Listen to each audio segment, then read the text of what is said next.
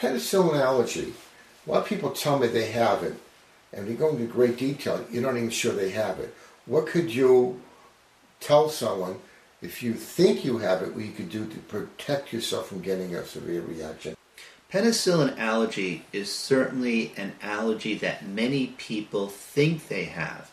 However, when you do very careful analysis based on history, exam, as well as testing to some extent, we find that less than 10% of patients who think they have penicillin allergy truly have the allergy. The most common misconception is that a patient who has a respiratory infection is started on penicillin and then develops a rash automatically has penicillin allergy. Many respiratory infections have a rash as part of their disease.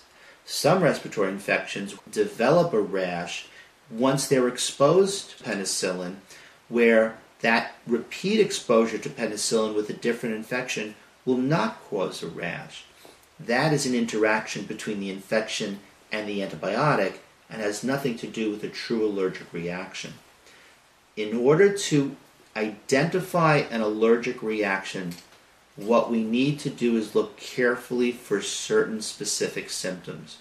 First, the skin rash needs to occur either within the first 48 hours of the dose or roughly 7 to 10 days after the medication was started. Second, the rash has to be hives. That is, it is a rash where the rash is elevated from the basic skin level not flat to the skin. Third, it must be itchy.